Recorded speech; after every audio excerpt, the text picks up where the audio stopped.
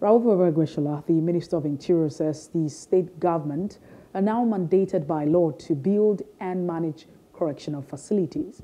On March 17, 2023, President Muhammadu Buhari signed 16 constitutional amendment bills, including the redesignation of correctional services in concurrent legislative list. Speaking at a two-day correction management event in Abuja, Aregbesola said the constitutional amendment has also empowered states to make provision for the feeding and accommodation of inmates.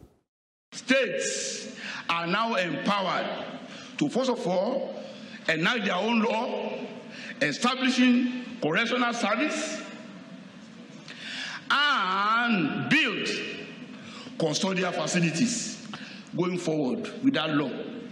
States that don't have their own facility, you pay for your inmates.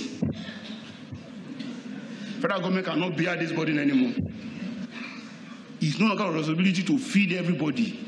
Hello, hope you enjoyed the news. Please do subscribe to our YouTube channel and don't forget to hit the notification button so you get notified about fresh news updates.